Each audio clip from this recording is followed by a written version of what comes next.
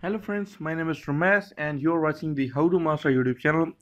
In the today's video, I'm going to be telling you that how to automate your Android settings. You have uh, used the Android and used all of the features of the Android, but have you used the feature that uh, you can you can automatically do certain tasks like when you uh, pin or plug in the headphones then your volume will automatically go down to 70% uh, and when you unplug it the sound automatically go to 100% so this application is for all these this type of task.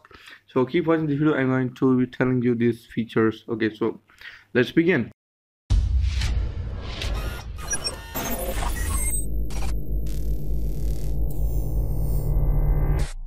so first of all you have to go to the play store and download the application which is called automate it. You have to go to the play store and in the play store you have to type AutomateIt.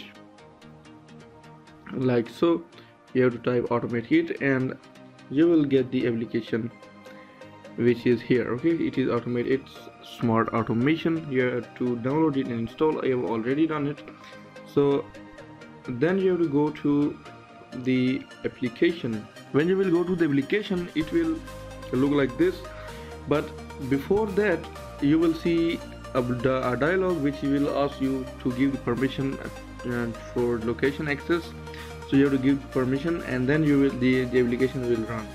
So here we you have uh, the dashboard and also you have my rules rules market history backup uh, and or rules or restore rule if you want you have some settings support unlock features and all of these settings. So we have to go to my rules option and in my rule option you will have the application. You have these rules. These are all the uh, say uh, eight rules. Actually I have created two rules the last two rules and the first six rules are pre-installed. So sorry pre-done. So if you can do certain tasks like you can edit the existing rule you can delete the rule upload rule perform these action copy the rule and extend rule history etc okay? Also you can create a new rule you have to type on this plus button. And sorry in this uh, after pressing on the plus button then you will see the menu like this. Now you have to select a trigger. So the trigger means that uh, the uh, the uh, this the action you will select will be performed when and this type of trigger will be done like application status trigger. Uh, like the application status trigger it means that when the application will be launched then the following trigger will happen. It means uh, I have uh, authenticator. It means that when you will uh, launch this application then the action with this uh, the action you will select will be performed so for example start application action. It means that when you will uh, start the uh, application uh, the google authenticator then the application shall launch. It means that the, uh, this application like the uh, the calculator will launch it means that this is the action now. When this will uh, this uh, application will be triggered then this application will launch which means, which means that when you will open the authenticator according to this rule the action which is called calculator will be open and this is the now rule. You can now uh, set the rule. The rule name is start calculator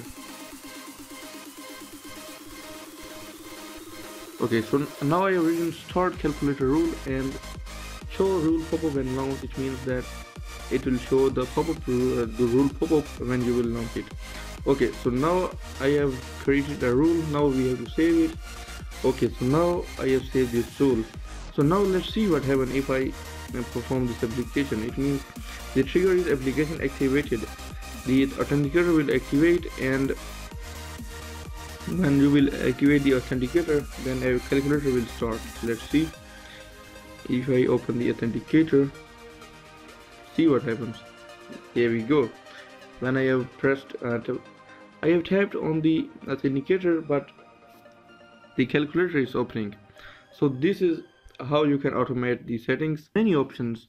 You can make unlimited rules that you want. And you have to simply select a trigger and after selecting a trigger you have to select the action and then you have to give the rule name. You have to select the yes option and then you have to save it and you are done. And by the, using this application you can perform all of the other tasks and you can perform many tasks. So i hope that you like this video that how to automate your android setting if you like this video then please hit the like button.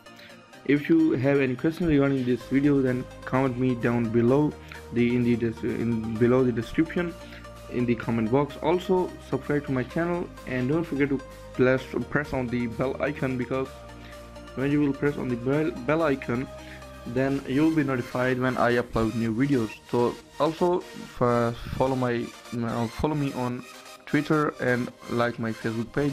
Thanks for watching this video. I will catch you in the next video